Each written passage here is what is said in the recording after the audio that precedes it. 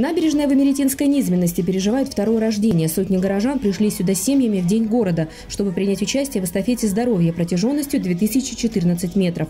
Многие взяли с собой велосипеды и ролики.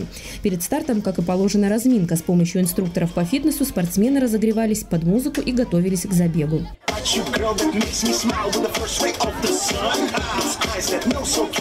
Начинался марафон здоровья от сквера Надежды. Жители Адлера получили ко дню города 4700 квадратных метров новой прогулочной зоны с зелеными газонами, цветами, растениями и малыми архитектурными формами. Мария и Руслан Папазян – частые гости на Америтинской набережной. Вместе с сыном проводят здесь большую часть свободного времени. Очень красиво, чисто. Постоянно гуляем по вечерами с семьей. Спасибо, что так сделали. Все красиво, зелень вокруг, цветочки.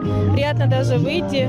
Честно говоря, не ожидали, что так будет. Занимаемся активным отдыхом. На великах катаемся, на роликах. Вообще супер, молодцы. Сквер Надежды, по мнению главы города, стал символом развития курорта как города здоровья.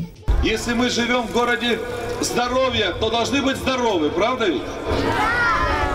В марафонский забег на 2014 метров решили отправиться все, кто пришел на праздник. Финишировать им предстояло в Олимпийском парке. Для города, который взял олимпийскую планку одного из лучших городов страны, это было символично. Дадим старт!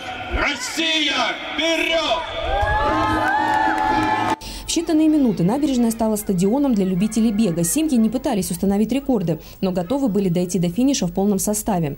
Вместе с ними преодолел дистанцию и глава города с руководством района.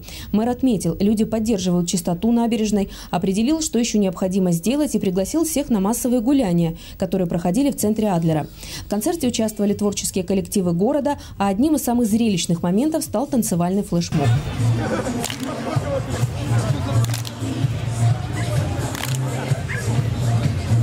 Народные умельцы провели мастер-классы. Преподаватели школ искусств обучали всех желающих азам живописи и рисунка.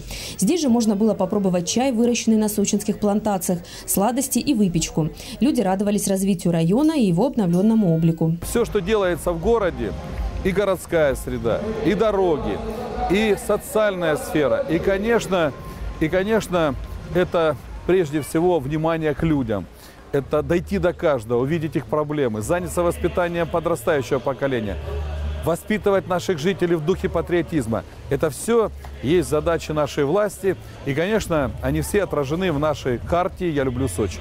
В честь праздника глава города подарил жителям Адлера проект нового скейт-парка. Его строительство пройдет в начале следующего года. Галина Моисеева, телекомпания ВКТ.